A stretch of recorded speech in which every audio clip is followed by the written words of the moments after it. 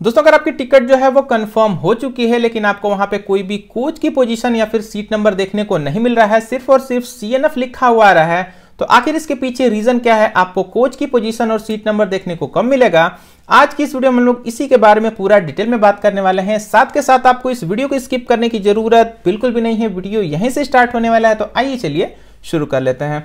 सबसे पहले मैं आपको बताता हूँ कि आपको आपकी कोच की पोजीशन और सीट नंबर क्यों नहीं मिला है। तो दोस्तों, इसके पीछे बेसिकली दो ही रीजन होते हैं। अगर आपकी जर्नी डेट जो है वो बहुत लंबे टाइम की होती है, अगर आपकी वेटिंग कंफर्म होती है तो वहाँ पे आपको कोच की पोजीशन और सीट नंबर तुरंत से देखने को नहीं मिलता है।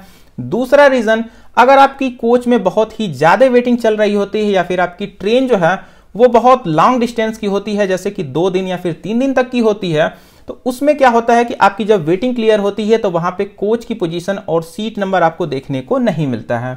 अब हम लोग फाइनली ये समझ लेते हैं कि आपकी कोच की पोजीशन और सीट नंबर आपको कब दिया जाएगा। तो दोस्तों, ये आपको दिया जाएगा चार्ट प्रिपरेशन के टाइम आपको सिर्फ़ और सिर्फ़ वेट कर लेना है, परेशान बिल्कुल भी नहीं होना है।